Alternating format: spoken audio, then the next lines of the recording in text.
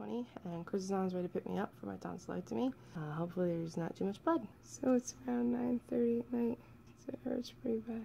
Last night was hellacious. I think I might have slept two hours altogether. Oh, sweet, sweet relief. Hopefully it helps, I don't know. Ow! Blood. Oh, am I doing it wrong? Ow! Like flowers of water. What? Did you see that guess?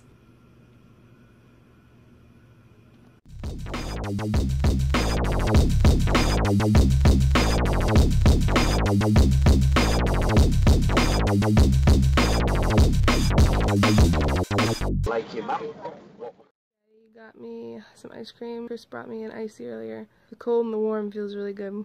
I think on average today my pain was probably about a 5 out of 10. It's day 3 and it's 2 o'clock in the afternoon and I want to shoot myself. This is the dumbest pain I've ever had. Apparently day 3 is the day that you have all of a sudden out of nowhere, not even when you wake up. I didn't wake up with ear pain. It slowly, gradually turned into my entire throat swelling. Right now I'm on the full dose of narcotics and I'm still in a lot of pain. I don't, I don't get it. I thought I was being like so optimistic and I thought that today I would be able to like move around, but no. 10.09 on uh, day 3 and today's been the worst. I was gonna try to go to the Toy Con.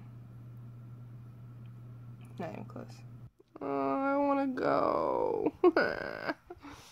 I couldn't even get downstairs to watch qualifying. I have standstill pain today. I got a little nauseous, but I had some soup and that helped. It's noon. I'm day four, but I can't even talk. Day four. You're gonna be optimistic. The first couple days aren't gonna be that bad. Oxycodone, acetaminophen. This stuff is the only stuff that makes me kind of okay. And I'm not a baby. I like to equate it to when I broke my collarbone. When I broke my collarbone, I fell on my face, basically, cracked my collarbone in half, and then I had to wait over a week to get surgery. And the night after the, the shock had worn off, it was very, very painful. That is what I count as my 9 out of 10 pain. Right now, I'm in about 1 out of 10 pain because my oxycodone kicked in. When I woke up before, I had missed a dose of my medicine, and just sitting there still, I was in like 8 out of 10 pain. Well, good morning. September 2nd, day 7 at 9.08 a.m., and I think I can safely say that I'm on the up and up. After getting queasy, the doctor said he was going to give me anti-nausea medicine, but then he didn't. To stop taking too much pain medicine and just deal with the pain. Okay, so then I didn't eat at all because I couldn't eat because it hurt too bad. I've been drinking a lot more water and trying not to fall asleep for too long. Last night I had turkey. I moved on to small pieces of bread. Oh yeah, I didn't even tell you guys. Yesterday, yeah. yesterday I'm like, hmm, I've eaten in six days. I'm feeling really weak and woozy and blah. I had this Boost protein shake my dad got me, and I was like, oh man, this is so good. I feel it hitting my stomach, and as I feel that, I get this hanging feeling I run to the bathroom and I puke up like over a liter of just medicine, icy residue, water, and boost. So, after puking in my open wounds, I was in major pain, eating tiny bits of bread like what you give to birds. That's what I've been eating. And I was like, if I can eat tiny bits of bread, why can't I eat tiny bits of turkey? Gross. So, Chris brought me over an entire bag of turkey. Hashtag bag meat. And I ate tiny bits of turkey, and it was delicious, and I have not gotten nauseous since then. Knock on wood.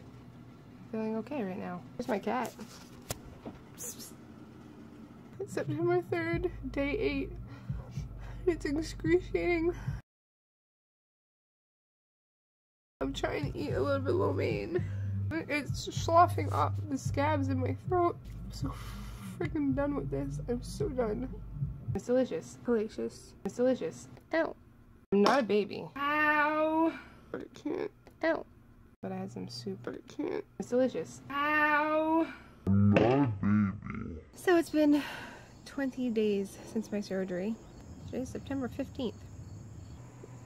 After day 8, it got worse until day 12. I didn't eat for 10 days straight. 9 through about 13 Um, I didn't even take any video those days because I was in so much pain. I feel so much better. I think it was totally worth it. It hurt a lot though.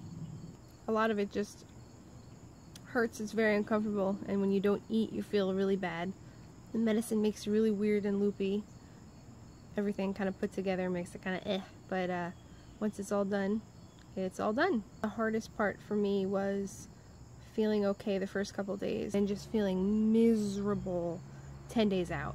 I have my post-op appointment in two days. Everything looks really good. Everything's healed. There's no really scars or anything in the back of my throat anymore. Hurts a little bit when I swallow still. But I've had hot sauce, hot wings, alcohol, and it's day 20. So it doesn't feel like anymore. It was definitely an adventure. I'm not a baby.